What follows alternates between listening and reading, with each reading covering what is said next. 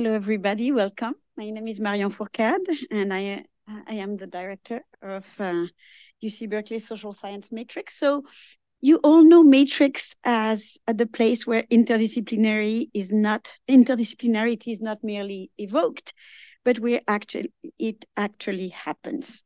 But it is a particularly felicitous moment when we can bring together not only people from across the disciplines, but also from the wider world of practice. So we are delighted to welcome today one economic historian, one economics and finance professor, one financier and theorist of finance, and one legal scholar and political scientist to discuss how financial impunity arose during the long 18th century in Europe. In the brilliant book that will be discussed today, Trevor Jackson combines aspects of regulatory history and financial history to narrate how during this period of political anger and economic upheaval, financial crisis went from being understood as crimes to become naturalized as disasters. And then we will have, of course, a conversation between the present and, and the past with these wonderful panelists. Today's event is part of our Author Meets Critic series. We would like to thank our co-sponsors for these events, uh, the Berkeley Economy and Society Initiative and the UC Berkeley Department of History. As always, I will mention uh, our last upcoming events of the semester on Friday. Elizabeth Joh will close our programming for the semester with a talk on the use of algorithm, algorithms by police.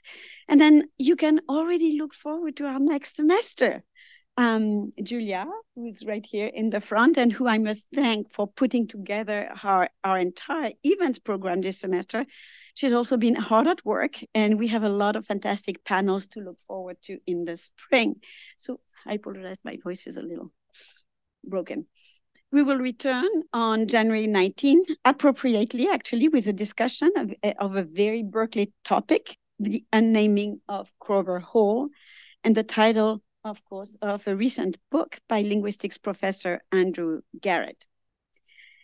So now I will introduce our moderator, David. Um, David Singh Grewal is professor of law um, at UC Berkeley School of Law. His teaching and research interests include legal and political theory, intellectual history, particularly the history of economic thought, global economic governance and international trade law, intellectual property law and biotechnology, and law and economics. His first book, um, Network Power, The Social Dynamics of Globalization, was published by Yale University Press in 2008. And his second book, The Invention of the Economy, is forthcoming from our perpetually forthcoming, well, we'll say forthcoming from Harvard University Press. So without further ado, I will now turn it over to David. Thank you all for being here. Thank you, Marion. Um, let's see, is that is that now? There we go. Okay. Um, so I think it's recording. Anyhow, uh, thank you all for being here. It's, I'm delighted to be able to moderate this session. Um, to my immediate left is Trevor Jackson. He's an economic historian who teaches here at Cal as of this year in both the history and the political economy departments. Uh, and we're really delighted to have him. Um, he, he researches inequality and crisis, mostly but not exclusively in early modern Europe. I think he's developing a side business in modern crisis, uh, and we'll maybe hear about that in the Q&A. Uh, his first book, which is here, available at a fine bookseller near you, um, is uh, Impunity and Capitalism, The Afterlives of European Financial Crises, 1690 to 1830. It was published by Cambridge University Press last fall. His current research interests focus on the problem of gluts, overproduction and overaccumulation since the 17th century, the problems of temporality and finitude in economic thought, and problems in the historical measurement and meaning of capital. Those of you who have had a chance to read this great book will see a lot of those themes resonate with the history he tells. He also has ongoing research interests in the histories of extinction and catastrophe, as well as early modern occupational health. That may be why a gilded, um, what do they call it? Uh, a gilded guillotine is on the front cover for those interested in occupational health. Uh, and to this wonderful list of interests, I hope that um, he, I, I think he should add law because there's a lot of legal thought, legal history in the book. And one of the things that interests me in the book is the way in which uh, it really is at once a legal history as well as a financial history. So I'm, I'm delighted to, to be able to moderate. And the two commentators today are uh, to Trevor's immediate left, uh, uh Bill William Janeway, uh, who is an affiliated member of the economics faculty at Cambridge University. And he's the author of Doing Capitalism in the Innovation Economy.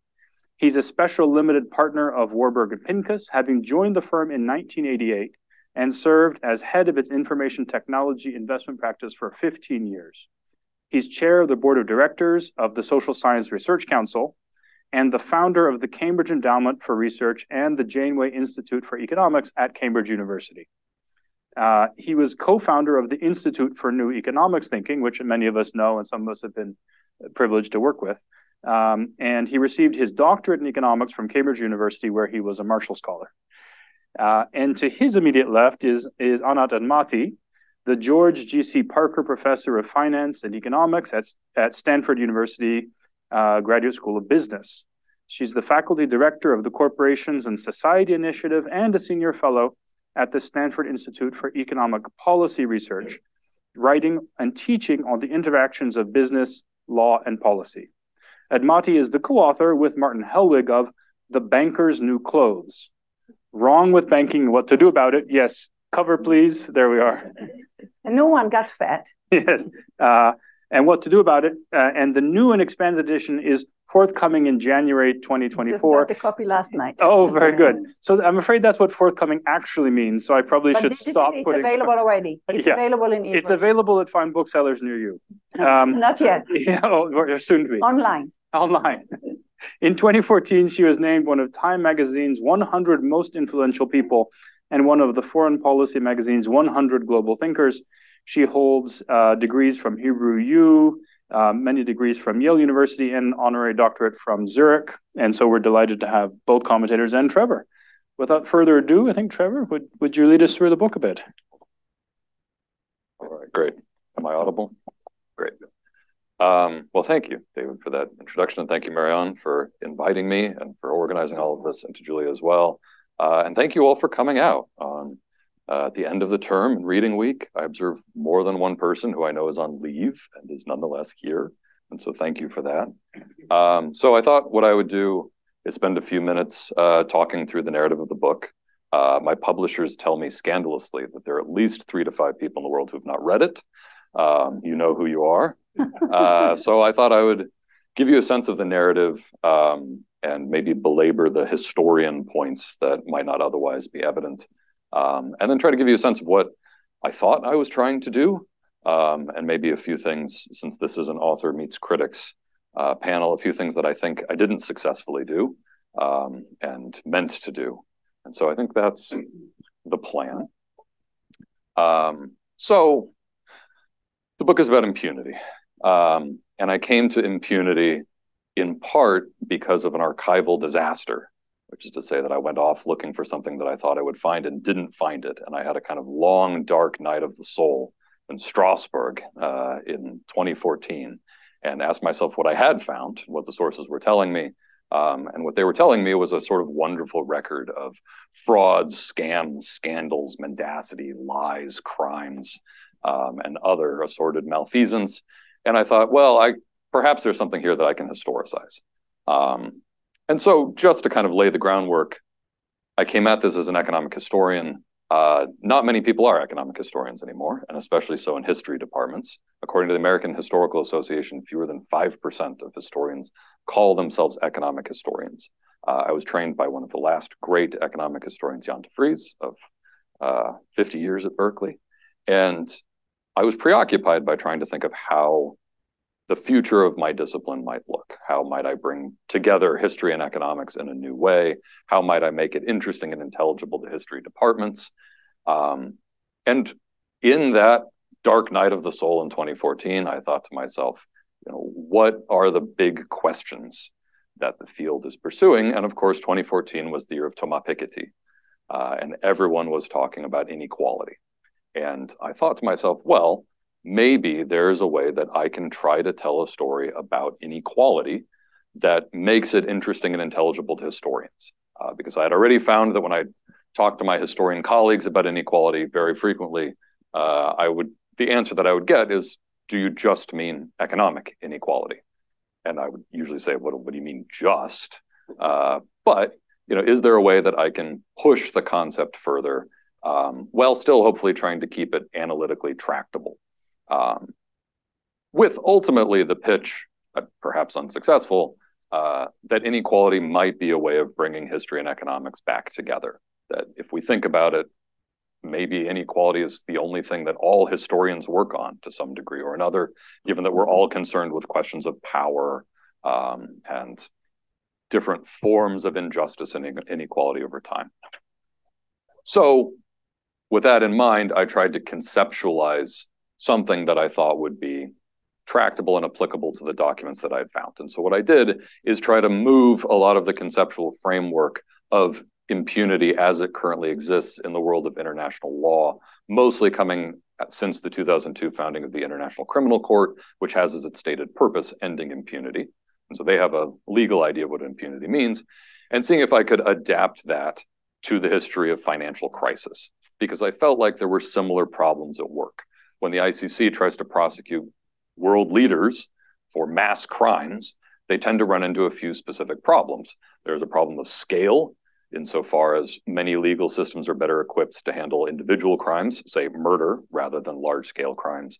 There's a problem of precedent in that uh, malfeasance tends to exceed existing laws and regulations, and there's a problem of culpability in that uh, world leaders tend not themselves to be personally guilty of any sort of crime. And I thought, well, maybe these problems and other attendant problems uh, seem to me kind of similar to the problems that I thought I was seeing, uh, specifically as I was researching the 1720 financial crisis. And so I thought, can I take these ideas? Can I apply them to financial crises of the past? And in doing so, generate some new way of thinking about economics and inequality. That was the plan. So the book begins uh, really with two related cases in the early 18th century. The first is the bankruptcy of someone called Samuel Bernard, who was the richest man in Europe. He was the personal banker to Louis XIV. And in 1709, for a series of kind of hilarious hijinks that get terribly out of hand, he goes bankrupt. And in doing so, he undercuts the basis of something called the Lyon Fair, which was the kind of quarterly clearing mechanism for much of the finance and commerce in southeastern France through the Rhine corridor and into Switzerland.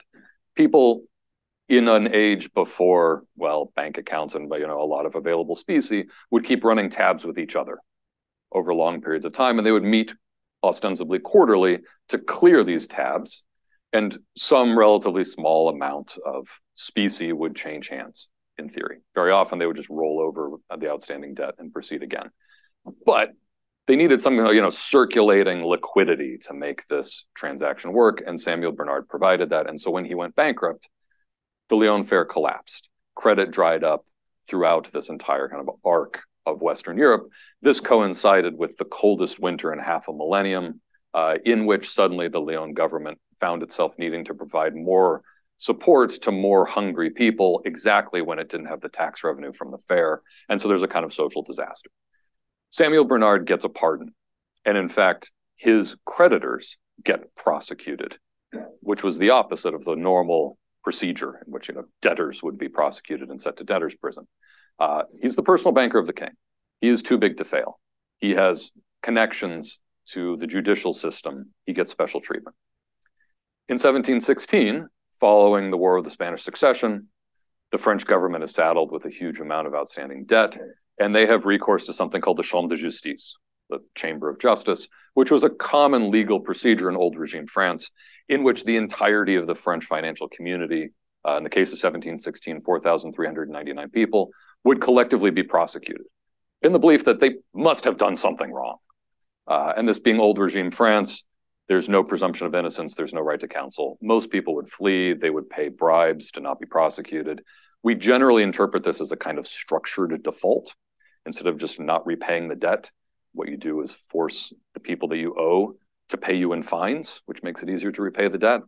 Uh, and so this is a moment where the fiscal crisis, the French monarchy, is at least within the legal system of the French monarchy, worked out as though the creditors are all criminals and are prosecuted for that uh, crime. And so that seems a far, you know, distant world from the one that we live in today. And so that's where it begins in this moment in which uh, financial crises are interpreted through a legal order, and the sovereign has the scope to decide who gets prosecuted and who doesn't. The book ends with the Panic of 1825, uh, which, again, through a kind of hilarious series of circumstances, is the first, uh, perhaps endogenously produced financial crisis uh, in the history of the Western financial system, meaning that it isn't necessarily the result of wars, of uh, famines, of some sort of exogenous surprise. It's generated by the financial system itself. In the working out of the Panic of 1825, uh, not only is nobody prosecuted, but it never even crosses anybody's mind. It isn't even a thinkable, intelligible, meaningful possibility. And so the book tries to explain how we go from the world of Samuel Bernard and the Chambre de Justice to the Panic of 1825. Or in the kind of tagline of the book, how do we move from a world in which financial crises are understood to be crimes to a world in which they're understood to be kind of natural disasters? That's the, the large arc of the story. So, what I thought this was going to do, or what I intended it to do, uh, was a few different things. So, one I've already alluded to, which was to try to produce new ways of thinking about inequality uh, that might speak to inequality scholars on the economist side of economic history, but also might provide a kind of intelligible point of entry to my historian colleagues. Beyond that, I was trying to historicize what I viewed as a, a pretty commonly held narrative, which is about the emergence of the economy as a separate sphere of social life and especially of governance. I mean, this is almost a classic Karl Polanyi story. I know there are many sociologists in the room. Um, that there was some time before in which economies and economic lives are embedded in social life and political life, and something happens to remove the economy.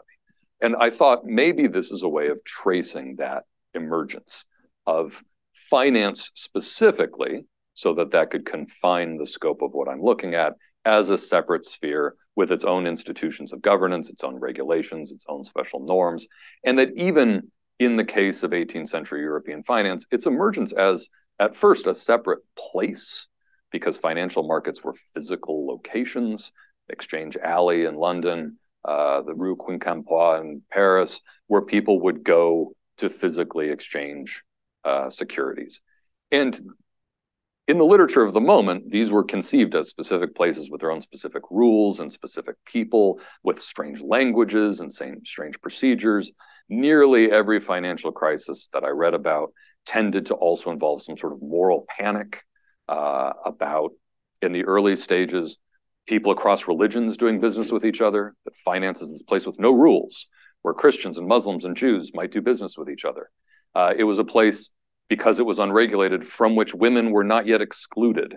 And so there was a whole moral panic in the pamphlet literature in English uh, about women getting access to money that other people couldn't control.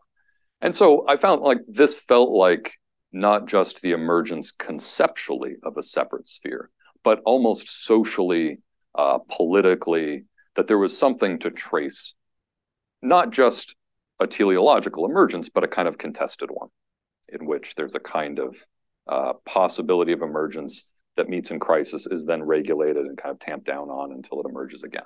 Which gets to the second thing that I was trying to do, uh, which is that after seven years of arguing with my fellow grad students about causality and uh, what is history, or what are agents, um, what I ultimately settled on was a kind of narrative emplotment that I meant to be genuinely dialectical in the sense of a set of conflicts producing a crisis that has some sort of resolution. The resolution, in turn, sets up and produces the conditions for the next crisis. Um, and I think we kind of are already willing to think that, insofar as we're very willing to think that regulation is always regulating the previous crisis. Right? and a new crisis tends to be understood given the distorted historical memory of the previous one. And so I wanted to take that seriously, even at a material level, sort of what kinds of financial activities were possible given a past set of regulations and what kinds of ways around them generated new forms of instability. Which gets the last thing that I was trying to do, which is that although it's a book about financial crises, and although I would try to claim to be an economic historian, and although it's got capitalism in the title, sort of fundamentally, the big game that I was hunting was actually about crises of political legitimacy. Because I felt like what I saw again and again in moments of crises, following which the public perceives some set of injustice that hasn't been dealt with, I felt like I perceived potentially an escalation to a crisis of political legitimacy. Um, you see this a bit in the aftermath of the 1720 crisis, much more profoundly in the 1780s and 1790s. Um, sometimes it's there, sometimes it isn't. Again, this isn't a sort of teleological move towards more or less, but rather different moments in which there are different possibilities of legitimacy crises. And that especially by the end, after 1825, the idea that the inequalities of the emerging capitalist economic order, or say the costs and consequences of financial crises, were unevenly distributed, that although this no longer had a legal implication, um, I think at the popular level, that the sense that there is an injustice to that world of 19th century capitalist economic life was one of the motivating factors behind most of the like large scale ideologies of the 19th century. Most 19th century political ideologies in some way are addressed to the question of like whose fault are the economic injustices around us? And perhaps, you know, for the nationalists, it's the foreigners, and for the anti-Semites, it's the Jews, and for the socialists, it's the capitalists. But in general, that most ideologies of the 19th century were trying to deal with this question um, that was never quite resolved and that they never quite had the language to deal with. So those are the things that I was trying to do. There are a couple of things that I think I failed at. I'm going to preempt my critics. Um, we'll, we'll, see. Uh, so the first is an empirical strategy, uh, which is to say, I needed to choose my cases. And a thing about studying uh, exceptions, mistakes, crimes, violations of laws and orders, and so on, is that uh, people who break laws and get caught leave archival traces. People who break laws and don't get caught don't. People who don't break laws at all might not leave archival traces. And so it's very difficult to assess the denominator uh, and the like changing prevalence over time you know, I'm, I'm, in the social science matrix to use the social science term. What I did is I selected on the dependent variable um, and chose cases, both because there was an archival density, and so the sources were talking to me, but cases that left enough of a paper trail of malfeasance that there was a story to be told there. Um, in my mind, this the harsher version of this is that I made up a concept and went around early modern Europe saying, "Oh, there it is. Oh, but it's not that." Uh, you know, I think there is a truth to that. The more that I read about the construction of economic concepts, the better I feel, because to some extent, I think we've maybe all done that. But what I didn't do is produce some sort of falsifiable, tangible, measurable, empirical thing that I could say, you know, this is 10 impunity as opposed to five, right? Um, some way of tracing it across time. Now, often when I talk to my historian colleagues and I say this, they say, well, look, that's just kind of what history is like. We can't know the total set of the past. We know the imperfect record that remains to us. And it's very difficult to assess the total set of things that we can't know. Um, and I think that there is a truth to that. At the same time, though, I think that uh, in an absence of some sort of falsifiable set of claims, and a set of cases that may be selected on a kind of well selection bias standpoint then may themselves be epiphenomenal i'm actually not persuaded that the meta level story holds up as strong as each individual case. In the end, what I kind of hoped to do was to be uh, either generative or perhaps provocative enough that there might be further studies on differing forms of impunity.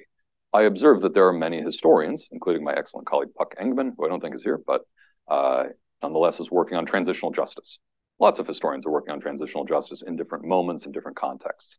And it's a concept that's providing a way for us to talk to each other across fields. And I thought maybe impunity is a way to do that. Maybe that's a way that I thought I could bring historians and economists together to talk about inequality. But maybe, in fact, it's a way of talking to sociologists, political scientists. And I've been very pleasantly surprised to find professors at law schools turn out to be terrific interlocutors to think about impunity and are very interested in this sort of subject. And so it may have ended up doing something different from what I intended. Um, but that's what I thought I was doing. And I think maybe what I ended up doing and not doing instead. And so I'll stop there before I carry on.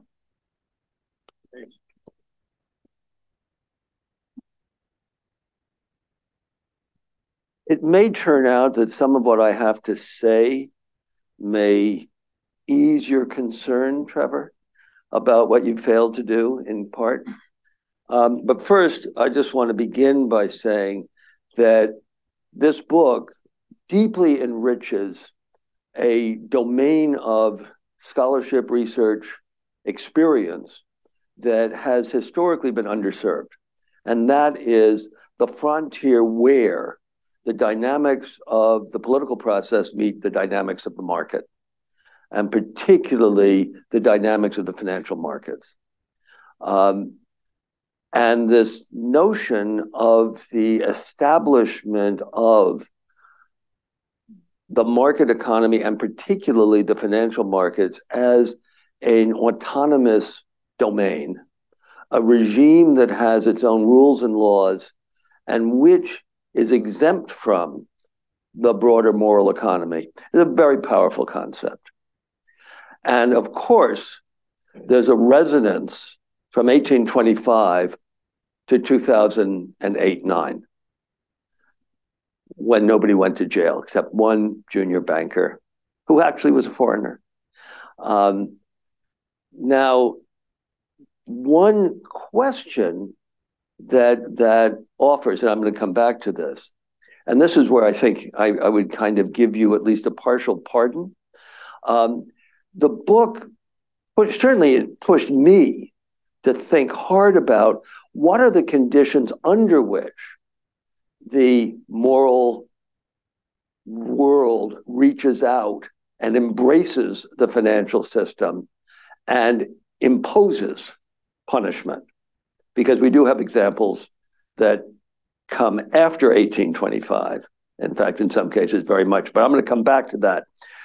First, I do want to point out one of the other more specific resonances that I found very powerful is the manner in which John Law's system in France, creating an enormous sea of liquidity in the context of a dysfunctional fiscal system, seems an awful lot like what happened in this country and in the Western world, but particularly in the United States. In the aftermath, in the context of the Great Recession, with austerity descending from what we thought, or perhaps I should say, ascending from a corpse which we thought had moldered away to assert itself across the Western world, in fact, across everywhere but China, um, between 2010 uh, and then uh, under the impact of COVID, the quote, unconventional monetary policy serving as the functional equivalent of John Law's system in motivating an enormous flood of liquidity into financial markets, into the financial system, which in turn engenders the unicorn bubble, the excesses and extensions of which fully meet the requirements of uh, being resonant with the South Sea bubble. Um, so that I thought was a really, really useful um, connection. Um, one aspect of this and I think the discussion in the book of the currency bullion controversy in Britain approaching 1825, establishing an intellectual frame in which you have the basis for laissez faire at a pretty deep level. David Ricardo is a really, really strong thinker and political presence, not unlike world that your colleague Brad DeLong knows better than anybody else in this room, a world in which efficient markets, rational expectations, the notion that markets are self-correcting mechanisms that can be relied upon uh, creates an environment in which we can have the global financial crisis and then constrain the response to the global financial crisis. Um, now, I do want to point out, and for those who are interested in modern, the modern uh, echoes uh, that this book generates. Um, some things worth taking a look at. Um, what happened to the Baring family in 1890, the first Barings crisis? They didn't go to jail, but Barings was had been as demonstrated in the book in the years up to 1825. The the historian of the of the Barings Bank referred to it as the title of the book is the sixth great power of Europe. Um, the Barings partners, most of whom were members of the House of Lords when that was not a, a, a kind of way of, of, as Boris Johnson said, embarrassing people who used to walk, people who were in the House of Lords by nominating your 28 year old personal assistant to be to be a peer. Um, the Barings were wiped out; they were liquidated in 1890. Um, so something was going on there. And I do think there's a linkage for those who really want to read deeply into this history.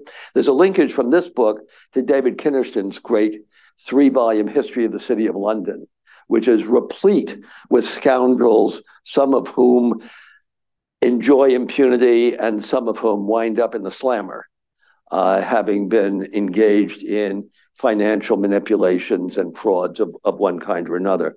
But then um, coming a little more closer to our time, not quite my generation, 1932-33, the Pecora hearings are an extraordinary moment in the financial history of the United States. After the great crash, after the bank uh, crisis, the Senate Banking Committee, when Hoover is still president with a Republican chair, organizes an investigation of Wall Street. It goes nowhere. There's no energy in it until Roosevelt becomes president, induces the now Democratic chair of the banking committee to reactivate the hearings. An extraordinary lawyer called Ferdinand Pecora, hammer and fist, hammer and tongs, goes after Wall Street. Uh, Sam Insull, the great entrepreneur of, of the utility system in Chicago, flees the country ahead of the indictment. Uh, indictment. Uh, the chairman of the National City Bank, largest bank in the United States, goes to jail for tax evasion. Richard Whitney, the president of the New York Stock Exchange, goes to jail for stealing his client's money. There is no impunity at that moment. But then, you know, even closer to home, and this I remember vividly. In fact, I knew some of the players in this game. In um, 1990, there was a savings and loan crisis. It was nothing like the scale of the global financial crisis. But under that radical, woke president, George H.W. Bush, 200 bankers, including Mike Milken, went to jail. They did jail time uh, for that circle, that, that crisis within a segment of the American financial system. In 2000, the um, leading, well, the chairman of WorldCom and the then not quite chief executive, but he became chief executive of Enron, were each sentenced to 25 years in jail for their frauds in the context that were revealed in the context of the breaking of the tech bubble. Um, and then, of course, most recently, uh, Sam Bankman Fried and FTX. I don't know. We don't know how long he's going to jail, but I think we are highly confident he's going to jail. Not with he has not uh, enjoyed impunity. So a question is, in this context, is global is, is, is 2008 the anomaly? Or was it really the reassertion of a central theme of the book? I think the fact that the book asks makes one ask those questions is is is is part of its of its value. So let me just um, close my two brief remarks. um, the well, I should add, by the way, the other thing that's going on right now is the question of the immunity of the Sackler family, the impunity of the Sackler family. Uh, I was going to start with. Yeah, well, there you go. I turn it over to it, and not. Um, uh, but the um, rolling back, one of the themes that emerges in the latter part of the book is how um, London's rise to dominance as the financial capital is enabled uh, by the House of Barings and the House of Rothschild being the financiers of sovereigns, including the British sovereign, but by no means only the British sovereign. So I think of um, and, and how they financed, particularly the British government in the context of the Napoleonic Wars. And I think of New York, Wall Street, the House of Morgan rising to a dominant position in financing the British government in World War One and emerging with the US and New York emerging as the financial hegemon uh, of the of the last hundred years. And um, with that, I will end, except to note that this is a plum pudding of a book. You find extraordinary gems, and the ones that I wrote down, the one I wrote down here. Financial crises and financial speculation often come with innovations. And Minister Necker securitized annuities on seven-year-old Genevois smallpox survivors on the grounds that they were going to be the most long-lived. And so selling the annuities was going to maximize the return today for a state that was functionally approaching bankruptcy. That's a great gem to discover. With that. Okay. Thank you very much. Thank you, Marion and Julia, for inviting me. Uh, when I saw the title of this book, I immediately wanted to do this uh, because I've been writing exactly on this, except a little bit differently. So, um, you know, in particular, and I brought a few things here, in the new edition of this book, the last chapter is called Above the Law, question mark, and it's very much about impunity. The word appears.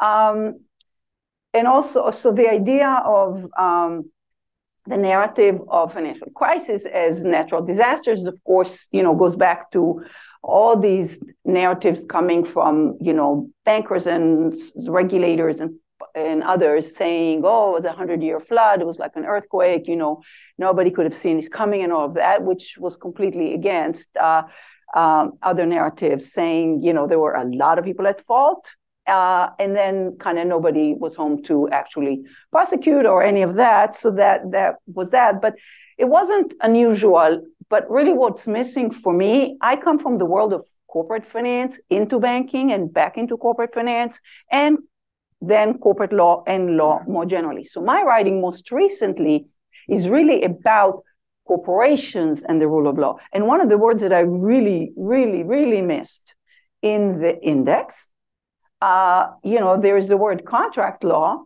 but the word corporation does not exist. Uh, however, you know, the whole issue happening right now with Purdue Pharma is precisely about corporations. It's about how the corporation, a legal person with rights, a lot of rights, and with a veil that separates the corporations from all people, uh, is filing for bankruptcy and the people who benefited from that corporation, who owned the equity of that corporation, who had a lot of control in it, it's a private corporation, doesn't have shareholders, you know, in the public, uh, are not bankrupt and yet want to get impunity out of the bankruptcy of the corporation. Now, that's just one of numerous examples where corporations commit crimes, even though they're abstract people. I mean, PG&E, right in this area, uh, pleaded guilty to 84 manslaughter charges. And the headline in Forbes magazine was, you know, PG&E avoids 90 years in jail for not being a person because a person would get about a year per manslaughter. This was 84 manslaughters and nothing happened. I mean, the fine was ridiculous, like a decimal point uh, for PG&E, and that was a maximum fine. Now they don't go after PG&E criminally, but they go civilly because they can get more money out of PG&E for that. But this is basically the way the way it works. So the corporate form is really the way impunity works in capitalism. And by the time this book starts, we already have the Dutch East India. We already have the key corporations that have become the dominant sort of almost sovereigns in our economy and the ones that give people the impunity that once was given to kings. Uh, in other words, Jamie Dimon has impunity and he will pay a lot of money to hide the and you know pay off the wrongdoings of JP Morgan Chase. Uh, and so will Mark Zuckerberg, if anything uh, is wrong with what Facebook uh, Meta is doing, et cetera, et cetera. So the core reform is really key to this. Now, the book focuses on central banks. And in fact, in the new edition of the book, we go much more to central banks. The original book was The Banker's New Clothes was about private sector banks.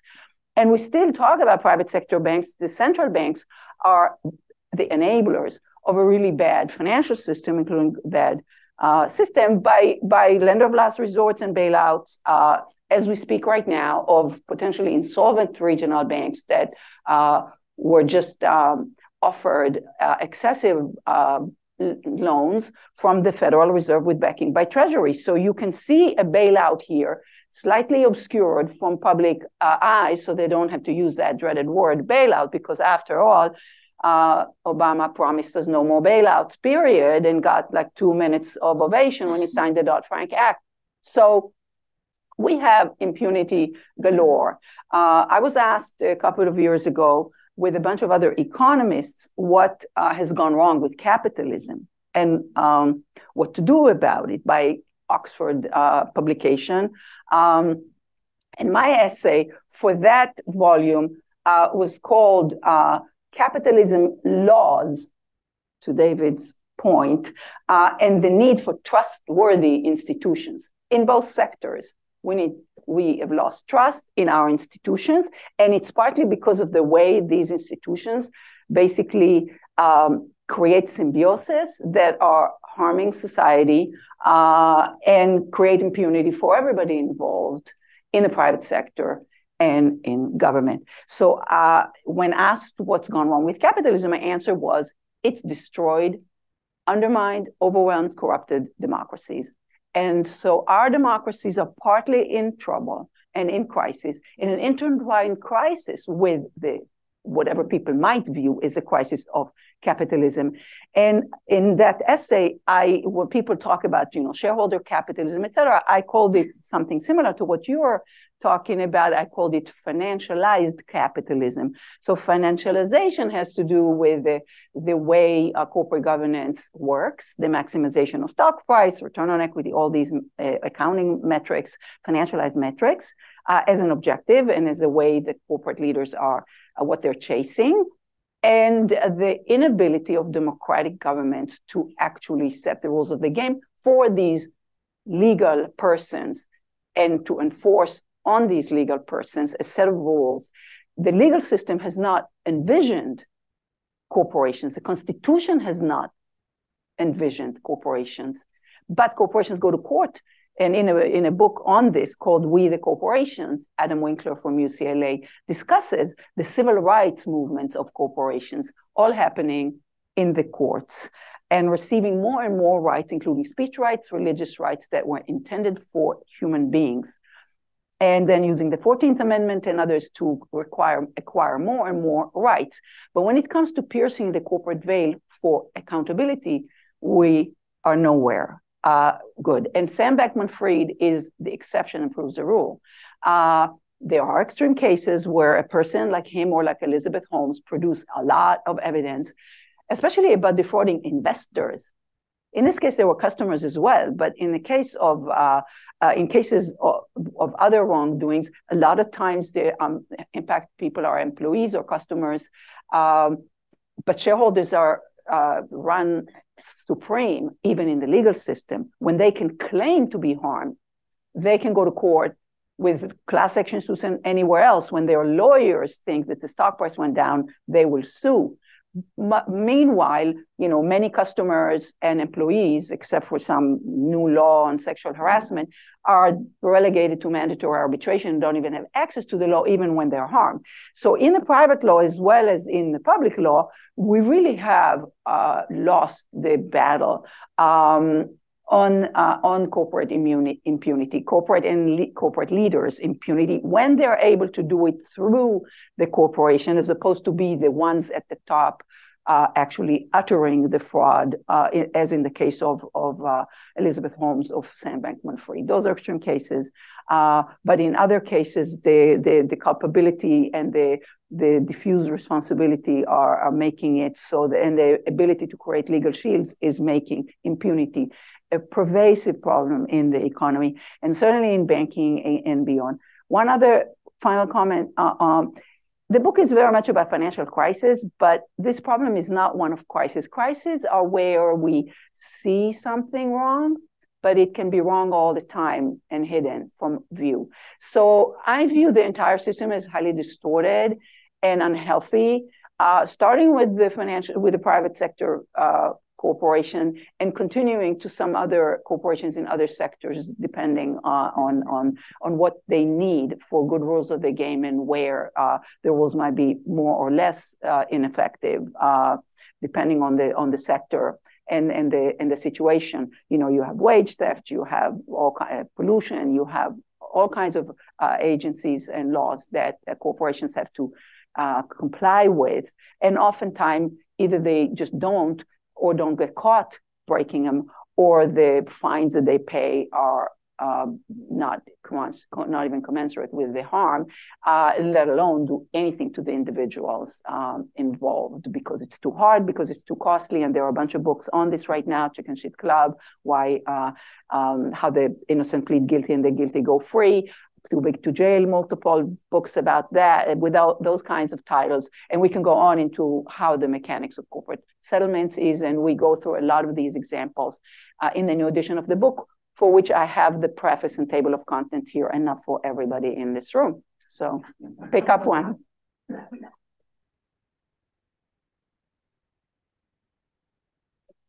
Give you about 10 minutes to respond to comments, and then we'll sort of open up and have a discussion. Great. Great. Great. Well, thank you both for that. That was uh, it's very stimulating to be read at all, let alone read and responded to, um, and uh, especially from people outside of my field and discipline. This has been a very useful and generative uh, set of comments. So, where to begin? Um, so, on the question of, uh, well, really our contemporary moment in the post 2008 order. I feel like there were several questions that I might kind of cluster together as being about um, the world since 2008. And I think um, it was a deliberate choice to have the book end in 1825 because I felt like that was the first moment in which I thought I perceived something new, which was to say large scale, what for lack of a better set of words I would call economic harms that are not broadly popularly interpreted as someone's fault, which there is no agential figure, there's no crime, there's no law being broken, right? It's like a storm. Um, although, of course, as we historians are increasingly aware of, natural disasters themselves are not necessarily natural disasters, but nonetheless.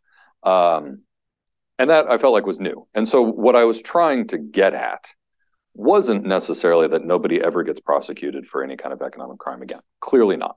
Um, rather, what I found interesting and wanted to trace the origins of was how we get to a world uh, in which poverty, uh, inequality, stagnant wages, unemployment are not perceived, well, perhaps are perceived as moral problems and certainly policy problems, but aren't perceived as some agential figure's fault outside of claims of political legitimacy.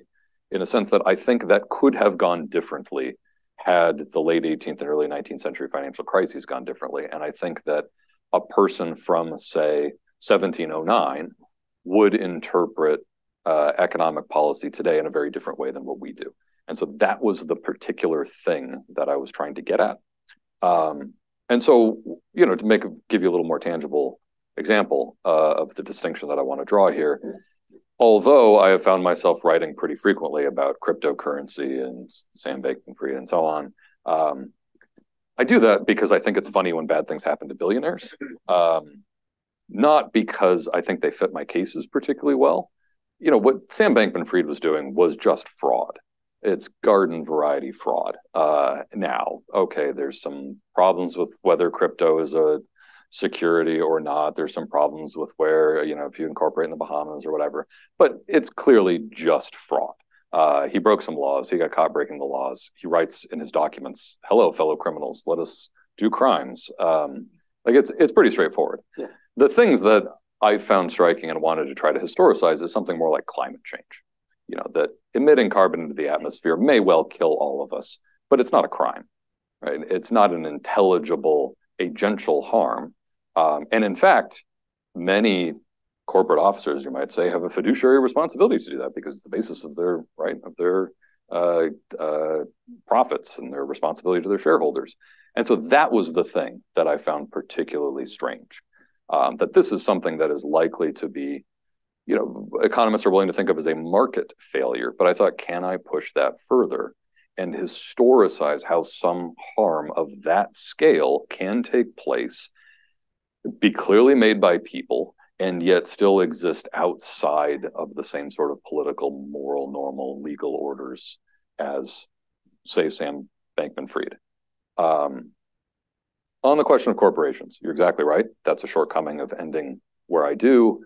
That, in the cases that I'm looking at, is largely because the creation of limited liability happens after 1825 right? And so, like, I mean, in the in the case of 1825, at least in English banking, there's unlimited liability.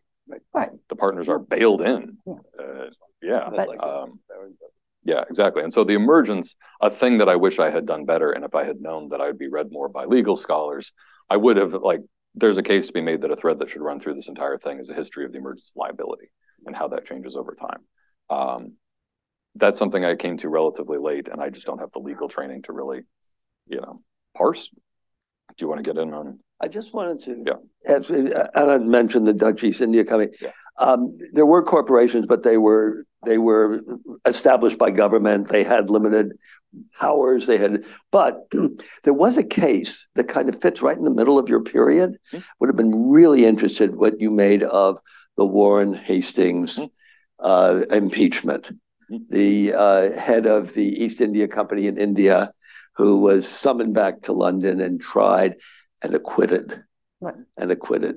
And that would, I would I just, I was thinking that that might have made an interesting bridging uh, example in, in your book. I mean, the, the, the English East India, I mean, read a fascinating book called The Anarchy. That book discusses uh, the Justice One company that basically, you know, was government, like when they gave them monopoly over the trade routes and all of that. They had armies, they pillaged and they controlled, and uh, you know, India until the British government uh, took it away from them. Uh, so they were very much government-like. Um, and so the, the, the limited liability part, obviously, it came came later. It enabled, you know, trading in stocks and things that you couldn't do otherwise. But you know, the English East India um, was was a joint stock, you know, company that that was that was accountable only to its, you know, its shareholders in in in London uh, and to nobody else. Uh, as it went around, you know, uh, conquering India, impoverishing people, taxing people, uh, and being violent too. Yeah, well, and it's I think significant that Hastings is prosecuted because of corruption. Right. Right. Right. He has misused his office, Right. which he has because of the the British government, not because of say the All opium the stuff he trade or did like, in you know, India, murdering lots of people and so on. And I mean another a case that I do try to draw out is is the Bank of England, which is also a private corporation that's responsible to Yeah. its shareholders until it's nationalized by a Labour government in 1946. Um, and they're doing monetary policy, you know, and throughout the 19th century, in moments where the gold standard is at risk, they raise their interest rate to defend themselves and defend the gold standard. They know that the cost of that will be imposing unemployment and crisis on the domestic population. They also know that population largely can't vote, uh, and so they do it. That was the kind of that yeah. was the afterlife but, of 1825 that I had in mind. Yeah, um, central banks. Yeah.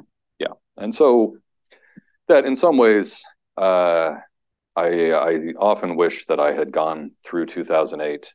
Uh, it was hard to think of how to deal with the Great Depression. There's a lot that happens in the Great Depression, and I thought, well, that's that's that's volume two. Um, we'll see how this one goes over first. Um, let's see. Um, on maybe a, a, last and related point about that before I turn over to our audience. Um, I really loved the sentence uh, that it isn't necessarily about crisis. The crisis is when we see something is wrong, but things can be wrong for a long time. And indeed, the book is kind of implotted around these different moments of financial crisis, exactly because crises really concentrate the mind right, and focus our attention uh, and and work as moments where something has to change. Nothing. They also leave a pretty good archival record, which is helpful. But the my hope is that the that's why there are these kind of interstitial chapters about the attempt to create historical memory around the meaning of the crises, how they worked out the way that they did, who was responsible, how we understand that, and how that feeds into the development of the history of economic thought, um, which itself is a body of thought that has very specific and perhaps unusual beliefs about responsibility, culpability, morality, normativity, and so on that I think emerge in parallel with and in a relationship to the kind of material history of the financial crises themselves. Um, and so I think that there's a way that when I ask myself, when is the crisis over? Well, in some ways, it's never over because we're always relitigating and rewriting the history of our understanding of the crisis. Um, and I think that's very much true of 2008 uh, today. Mm-hmm. So I think I'll wrap up there. I think my publishers would probably be happy if I mentioned that the far cheaper paperback will be out in January. uh, Some of us have research budgets. I'm not sure your not publishers would be happy. Yeah. For by yeah. nine dollars. Yeah, well, is a bit much. I it's under twenty. I tried. that was the one thing I tried to negotiate. I know. Just, selling. Quit selling. Yeah. They just would not move. But cheap. Uh, negotiated cheap. Great, wonderful. Well, um, um, I uh, I won't abuse the moderator's privilege yet of asking my questions, but I have I have a lot of things I could push you on about the history as well. Maybe we can. Great. So especially folks want to talk about the core history stuff, and we can certainly open out into current events as well. But there's so much to to deal with here. So great. And would you please introduce yourself briefly so we all know each other? My name is Vicky Chang, and uh, so what I'm getting is that when the sovereign is corrupted by financial interests, then impunity happens for these corruptors. Hmm. And it seems like the, the key right now to the destruction of democracy in America is Citizens United. The corporation has the power to secretly give money to anybody in the government, and they do. I mean, I, I think the it's legal corruption. It's legal and it's completely I don't know. I would really like to hear what your thoughts are on how we can get rid of this because I, I think the number of uh, lobbyists in uh, Washington, D.C. went from like 50 in 1970 to like thousands now. And it's just Washington is just flooding with money. And you know, like the Supreme Court is not immune either. They, they take these secret trips. They they they benefit. So when the sovereign is corrupted, then the government is not interested in doing the right thing. I think, I mean, sovereignty is an important conceptual component to the book. And part of what I wanted to argue is that I think there's a, a kind of broad acceptance that impunity is a characteristic that often adheres to sovereigns. Right? There, there is such a thing as sovereign immunity. Um, and that was even part of what I wanted to get at is that as we have emerged into a more constrained democratic vision of politics, that there are still spaces in which this older form of sovereign immunity or impunity continue to exist. But you know, that still I want to emphasize is where I wanted to get to at the end was a kind of idea that the real impunity isn't breaking the rules and getting away with them. The real impunity is setting the rules.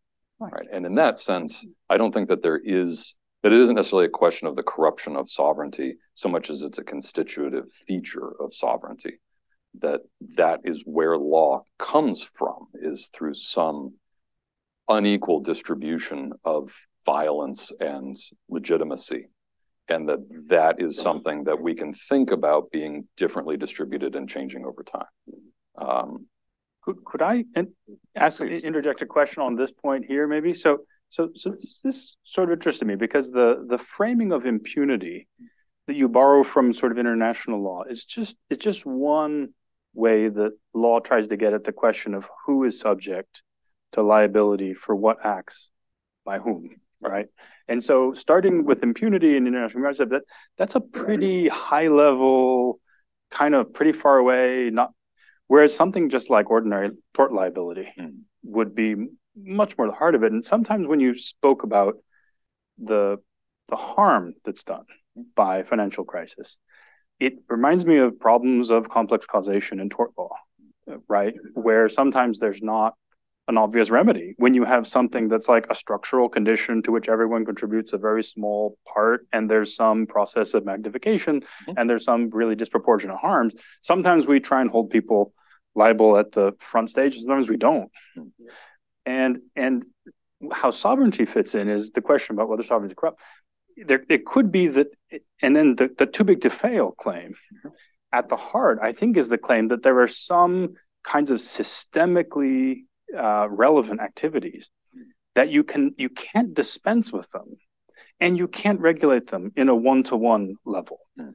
and in those cases the standard argument has been the government has to do those things. It's too big to fail means you can't leave it to the private sector, but it's not like you can dispense with the activity anyway. So I wanted to hear about a different question. That might be a way in which, so one view on the corruption would not be that Citizens United, the corruption might be a financial system is a necessary part of a modern polity. It is in, it is inherently subject to all of these feedback mechanisms that make it very unstable. Hold on, now, I'm, just now I get to ask my question. Um, it's subject to all these loops. Um, and the ordinary ways in which we hold people liable in the person to person dealings that private law is most accustomed to don't really scale. So the corruption might be that we don't think of this activity as sovereign at all. But if it is sovereign, then maybe sovereign immunity should apply to the banking system if we're a public system. So, I mean, if it's publicly. Exactly. So, Yeah. so, so, so with that as long preface, the question would be: There's one direction of the book that that focuses on the thought that these crises show a problem with not holding people to account. That's the impunity. But a different angle you could take would be to say the problem is that we're allowing certain private actors to control something that is properly regime level. And if it's regime level, as you say, it's almost a deduction of sovereign of, of, of legal theory that acts of the sovereign can't be subject to ordinary law because the sovereign makes the law.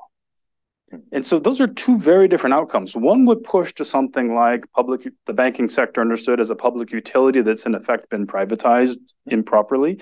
The other would point to something like we need to hold private actors who stay private to account when they engage in systemically relevant harmful activity. And, th- and there's very different valences. One would assume that we can sort of, and I wonder, and, and the book ending in 1825 doesn't deal with progressive era legislation on public utility doctrine, fiat currency, and the banking crisis. Um, but I think the, the, the, the, the response we often have to financial crises tends to be poised between these two things. We, we want to hold the bad guys responsible, but we sort of know that we can't because there's a system that they're a part of that is bigger than them.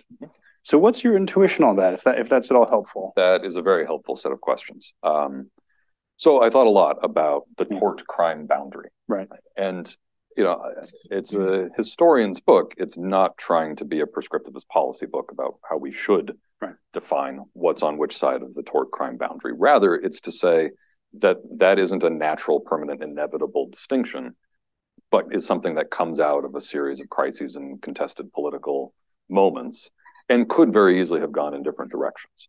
Right. And so if we think to ourselves, well, that's actually an unstable political thing rather than like a feature of whatever natural law, that does open up the possibility that it could go in a different direction. But I felt like I had to establish that you know, historicizing the distinction first. And I think the way that I would square the two prongs that you speak to is exactly the point about democracy, right? That we might think that there are some set of, as you say, regime level powers. The one that I focus on in the bank is central, or in the book is central banking. Central bank. That was Freud. Uh, is central banking, which begins right as a private set of activities, and eventually we recognize perhaps this should be something controlled by the state. Um, but that returns us to a debate that we have today, which is about democratic accountability of central banks. Should they be insulated? Should they not? Should they be responsive to voters? Should they not? And that, you know, when I allude to this kind of large scale separation at the end of the book that I tried to get to, I mean, the, the big implication that I want the reader to come away with is that under capitalism, we distribute wages and profits as like the means of staying alive and continuing to eat through a market mechanism. Maybe that's the large scale thing that should be subject to democratic accountability, right? And is a, actually a regime level way of organizing society, uh, but is something that through the course of the 18th and into the 19th century got hived off from the sphere of democracy and moral economy.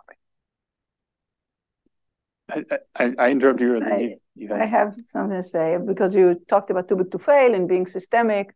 The fact of the matter is, okay, we had one case study to basically fall straight into our hands as we were trying to finish the book, which is uh, you may you may have not followed this, but Credit Suisse in Switzerland. So that bank, uh, an old institution, uh, very large, and I have encountered the Swiss, uh, you know, bank CEOs and regulators telling me, no problem, no problem. We got some magic buttons. We're going to press them. And voila, we're going to have bail in instead of bailouts. And oops, they didn't do it. Okay. They didn't do it because actually it doesn't work and it can't work. And so we have to question whether we need institutions that are global uh, across the border. We can ask whether it's worth it to create these too big to fail institutions. The word systemic, which is where we get to be hostages, all of us, because you know their options are so bad either way. Um, again, is preventable. Right now, the word systemic is just a code word for bailouts because they have to use that word in order to provide bailouts. Uh, and so all of a sudden, SVB is systemic, and you know, signature is systemic, and uh, and let's uh, and let's save them because some somebody will be harmed, and we don't we don't like that. So we like to appease everybody at the moment.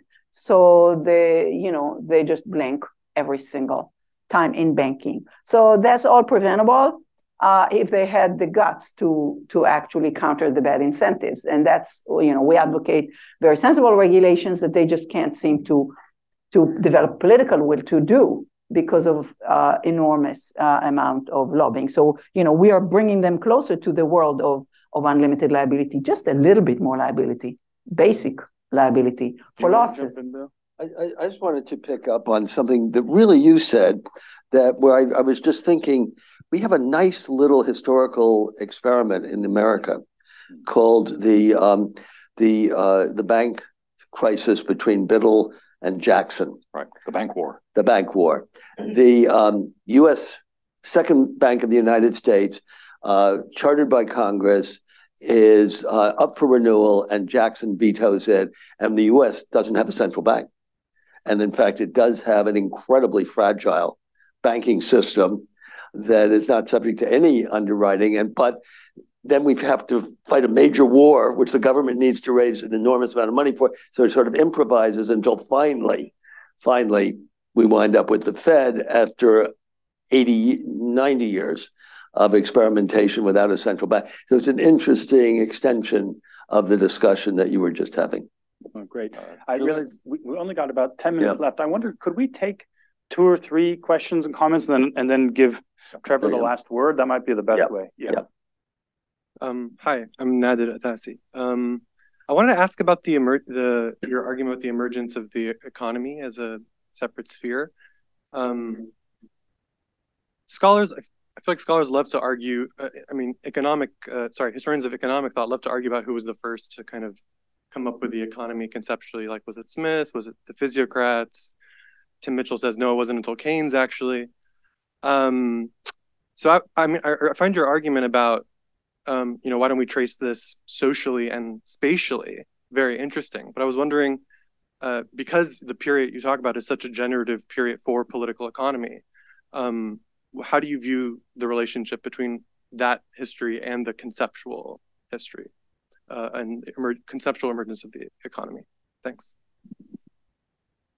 Hi, thanks. Um, yeah, I haven't had a chance to read the book yet, and I'm looking forward to getting the paperback. Um, and um, I wanted to ask about, um, I guess, uh, from a legal perspective, what um, laws or what specific rules um, uh, were found? I mean, were the same law, same, same or similar laws in place during both of these periods, the period of uh, liability and the period of impunity?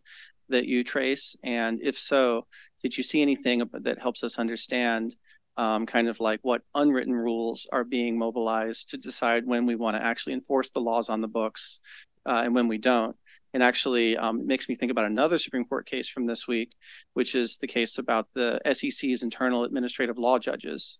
And one of the arguments for impunity or, or, for going to the Article 3 court system and avoiding the SEC court system um, is um, that, oh, uh, yes, it's okay to go to an administrative law judge, non Article 3 judge, if um, the law being, there's a Supreme Court case that says if the, the law being enforced is one that wasn't really on the books at the time of the Seventh Amendment in uh, 1791 or whatever.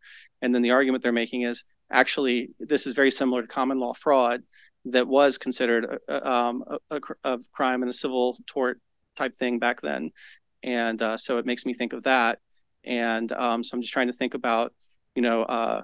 I mean, it seems to me that as a lawyer, you could find stuff to convict people with across all of these crises. So then I think that, you know, I'm trying to get a handle on what you were seeing in your documents about um, how those decisions were being made. Thanks. Thank you very much. So interesting, uh, extremely interesting. The, the, the discussion. I think also the book. I have a question. It's more your opinion. I would like to have your opinion about how you explain the fact that in our time, uh, let's say popular masses, people, citizens, um, let's say there are there, there is a kind of social apathy towards impunity. How you explain that? Uh, maybe uh, the, the the aggressive lobbying, let's say that we observe, plays a role on that. Uh, the fact that we have a kind of high high level expertise, legal expertise, that let's say it's a kind of immunity for for big uh, corporate actors. So they have all the tools to convince people that actually there is nothing to discuss about. So, because this is the, the, the real problem of democracy, why people they don't react on all these things. They know that there there is a problem, but yeah, you can try to answer the question from the beginning. Yeah, yeah. yeah, passing the mic is is definitely the trickiest part. Um, I uh I guess playing the historian, um, I wanted to go back to what might be some contributing factors to this emerging notion of impunity, and I'm particularly interested in the late 18th, early 19th century. Love to hear how they link up with some of your side interests. Um, in the first instance, uh, catastrophe and extinction. Um, when you're ending this book uh, with this model of new or emergent impunity, it's also happening at a time where you have changing ideas about natural disaster itself. Um, and particularly uh, in France and Britain, you see sort of this dialectic between catastrophism and sedimentarism. I, without trying to lead you down my rabbit hole, I'd love to hear about what you think new ideas of catastrophe do to the possibility of human agency um, and accountability. And I also think we should be clear that impunity doesn't in this case mean there's no punishment, no pain. It's being dispersed, it's being displaced. And I'd be curious about what you think about then who has to bear the brunt um, and what that says about new ideas of human nature. Um, really quickly, decolonization. Uh, we're, we're there's no way that's going to be quick. There, and, and it's question mark. No, but what I would say is um, this goes to the the conversation about sovereignty. Um, you know, here we're writing out the first great wave of global decolonization, American and Haitian revolutions, Latin American revolutions, the emergence of of a dozen sovereign uh, nation states into the world order. Um, to what extent then is impunity in investment, uh, in in in speculation. Uh, to what extent is that uh, sort of a continuation of negotiations about sovereignty? Uh, you know, who's who's in charge here? Uh, fundamentally, who controls this this global, not just financial order, but moral order? Great. With five minutes, you have. Yeah, that'll be that'll be You easy. your test, Um, yeah. yeah, no no problem. Um, those are great questions, and I actually am going to try to get to all of them. Great. Um, so on the emergence of the economy, I mean, I'm an early modernist. I'm very skeptical of the Timothy Mitchell Yeah. uh, 20th century story. I am much more willing to think that this comes out of early modern jurisprudence, um, both spatially and thematically, in the sense of like the law of the seas, um, thinking about there, Sophus Reinert has a terrific article about the difference between imperium and dominium and how dominium has a space of like uh, property law emerges as a separate kind of sphere of law and sovereignty from uh, control over territory. I would put this in the 17th century, but I put nearly everything in the 17th century. So yeah, That's correct. take that for what you will. Um, and and in part that's because when I look at the documents and I see people writing about, say, the circulation of the trade, in my mind, metaphorically, that's not too far off from thinking about the economy. Now, maybe these are different discursive worlds and different discursive spaces meaning different things, but that still might be analogous and still in, in the lineage rather than a completely separate thing. Um, so, do I see similar laws before and after? Well, the thing is that there isn't really a before and an after. Instead, you know, my wife hates this metaphor, but I think it's a good one. It's like trying to squeeze a water balloon, you know, where like if you squeeze part of it, it squirts out somewhere and you squeeze that and it squirts out somewhere else. You know, that there's never there's never a before and an after. Rather, where impunity is and how it works changes and moves and maybe sediments and maybe you know erodes and is constantly subject to political contestation. Um, now, it's true that very often when I talk to lawyers about this subject, they say impunity, you mean prosecutorial discretion, uh, which is there in the book a bit because I notice how often it came up. Uh, and indeed, in the crisis moments that I talk about, there are moments of prosecutorial discretion, right? Who are we going to prosecute and for what? But what I felt like was a more interesting story is that the crises in the book are also moments of shifts in the constitutional order itself. Um, so the Sea directors are prosecuted by a secret committee of the House of Commons that itself had authorized the scheme and creates four laws after the fact to retroactively prosecute the directors on. Now, okay, that's prosecution, but it's not quite right what we have in mind.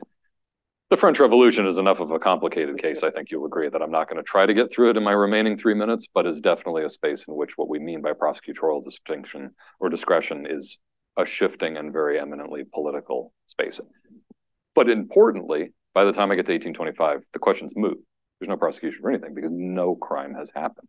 And so that's right the change over time that I'm trying to get to. On social apathy, I'm actually slightly skeptical. And here I'm going to get more presentist than I've intended to be so far, which is that some reviewers have thought that I wrote this book because I was angry about 2008. And that's true.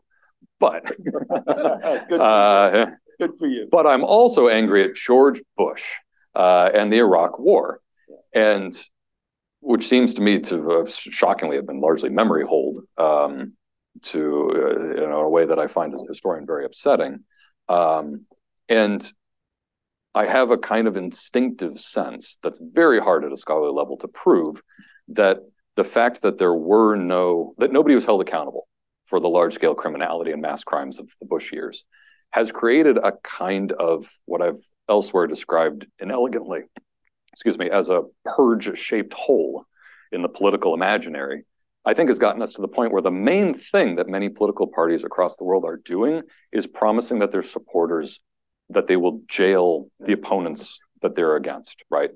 Up to and including Donald Trump is up for you know four different felony prosecutions in four different places. Now, I'm not doubting that he did all those things. I think he probably also did a lot of other things, up to and including things that many American presidents do uh, that we've long stopped thinking about as in any way criminal. Um, but it seems significant to me that in the 2022 elections, I think I counted 11 different people running promising that they would jail their opponents. Right? Trump is saying the same things. We've seen that uh, I mean, we've seen that very literally in Brazil. We've seen that in a lot of different places. And my sense is that in absence of the legitimate procedures of justice, there is a sense that some terrible injustice has happened and someone has to be held accountable. We just don't know who or how to do it. Um, on decolonization, catastrophe, and accountability. um, one minute. In one minute. I thought colonial spaces would be more of spaces for impunity than in fact they turned out to be. In fact, the impunity that I felt like I saw there is very similar to sovereign impunity writ large. Uh, and so we have cases like Hastings, where he's prosecuted, but for violating the laws of the metropole, right. not for the things that he does in the, the colonial space. Instead, when there are these weird moments of uncertain sovereignty, that seems to be a fruitful place for impunity to proliferate. And so, exactly in a decolonial moment, when sovereignty is unclear, that means all sorts of possibilities are up for grabs. And so, the example that I use is the case of Gregor MacGregor uh, and the country that he invented, all right, which is in fact one of many countries that were invented, uh, but he manages to secure a sovereign loan.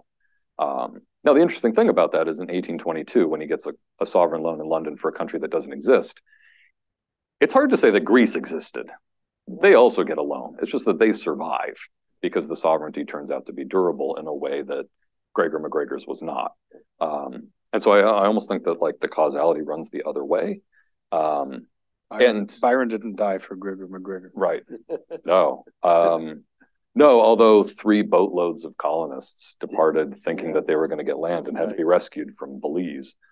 Um, you know, as you do. Uh, but as a last point on catastrophe, a fine place to end. Um, strikingly, I think once uh, uh, ideas of extinction events uh, are first mooted, which happens after 1796, there's a guy called Georges Cuvier, who's a kind of sinister uh, figure in France, who you know sinister in the sense that he's one of the foundational figures of like pseudoscientific racism, um, but also conceptualizes catastrophic extinction events um, one of his main sets of opponents are economists who essentially argue that nothing can ever permanently go away. It will just sort of get more and more expensive over time. And so they're like unwilling to think uh, in terms of total finitude.